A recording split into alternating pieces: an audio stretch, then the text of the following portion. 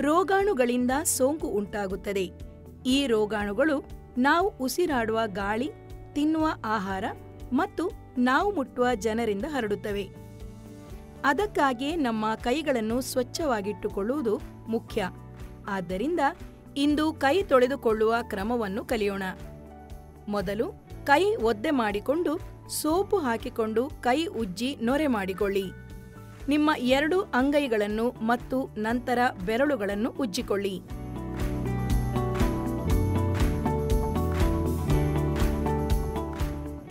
ನಂತರ ಮುಂಗೈ ಉಜ್ಜಿಕೊಳ್ಳಿ.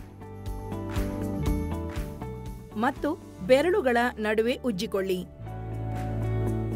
ನಿಮ್ಮ ಬೆರಳುಗಳ ಹಿಂಭಾಗ ಉಜ್ಜಿಕೊಳ್ಳಿ. ನಿಮ್ಮ ಹೆಬ್ಬೆರಳುಗಳನ್ನು ಉಜ್ಜಿಕೊಳ್ಳಿ. ಮತ್ತು ಕೊನೆಯದಾಗಿ ನಿಮ್ಮ ಬೆರಳುಗಳು ಮತ್ತು ಉಗುರುಗಳ ತುದಿಗಳನ್ನು ಉಜ್ಜಲು ಮರೆಯಬೇಡಿ.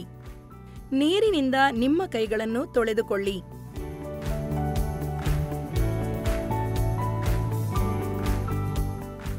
ಸ್ವಚ್ಛ ಟವೆಲ್ನಿಂದ ನಿಮ್ಮ ಕೈ ಒರೆಸಿಕೊಳ್ಳಿ ಅಥವಾ ಗಾಳಿಯಲ್ಲಿ ಒಣಗಿಸಿ. ನಿಮ್ಮ ಕೈಗಳು ಗಲೀಜಾಗಿ ಕಾಣದಿದ್ದರೂ ಸಹ ಕೈ ತೊಳೆದುಕೊಳ್ಳುವುದು ಮುಖ್ಯ.